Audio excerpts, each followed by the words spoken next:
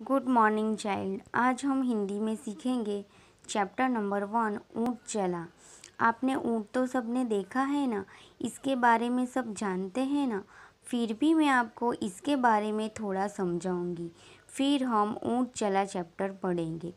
वह ऊँचा लंबा विचित्र सा एक प्राणी है। वह ऊँचा लंबा विचित्र सा एक प्राणी है। उसकी लंबी टांगे लंबी गर्दन और दो छोटे छोटे कान हैं। छोटी सी उसकी एक पूँछ है। उसके पैर के नीचे मांस की गद्दियाँ होती है। इससे वह रेत में आसानी से चलता है।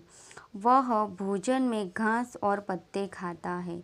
वह दिन भर हंड्रेड किलोमीटर तक चल भी सकता है। वह कई दिनों तक खाए पिए बिना भी रह सकता है। ऊँट एक ऊँट एक ही बार में कई दिनों के लिए पानी भी पी लेता है। अच्छा तो अब हम ऊँट चला भाई ऊँट चला पड़ेंगे। ऊँट चला भाई ऊँट चला, हिलता डुलता ऊँट चला। ऊँट चला भाई ऊँट चला, हिलता डुलता ऊँट चला, इतना ऊँचा ऊँट चला ऊँट चला भाई ऊँट चला। आज हम इतना ही सीखेंगे।